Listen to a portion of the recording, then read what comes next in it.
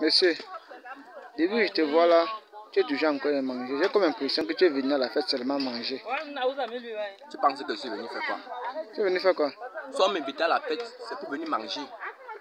Si la fête c'est à 20h, je viens à 10h comme présentement ici. Fais quoi? Je commence d'abord à rôder en attendant que la fête commence.